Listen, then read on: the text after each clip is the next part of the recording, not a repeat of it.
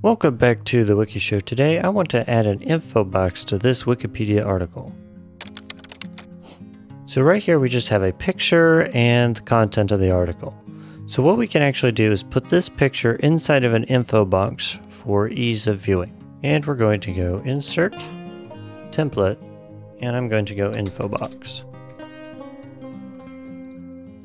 And now I'm going to go Insert Info Box Writer and Begin. So let's start with the name of the person. Sometimes it's helpful to have the article open in a separate tab on your computer to make it easier to look for information as you type it in in the info box. For example, the name. So we'll insert the name. I'll just copy that from the main page and paste that in. The next thing we want to do is add birth date and we'll death, which is here. And then death place, Lake George, New York. Punch that in there. Always try to add as much information as you can in the info box. And if you go show more fields, the next thing we want to do is add an image. So we'll do image. Now to get the image in here, we need to find the name of the image file. So I'm going to go back to the Wikipedia page, click on the image.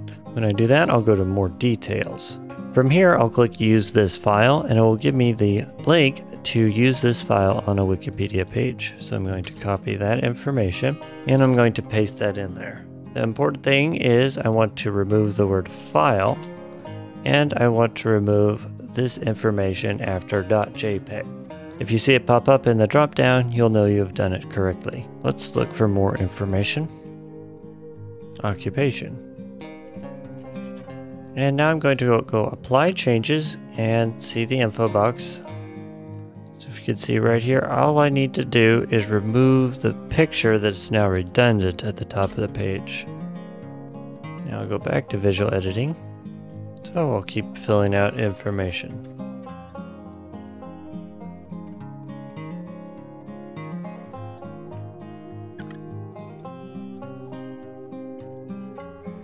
Okay.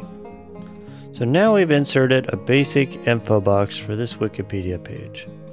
Now let's go ahead and publish those changes and I'm going to say what I did. Add info box and publish my changes. There we go. And now you can see the info box added to the Wikipedia page. That's all I have for you today. Until next time, don't be a vandal.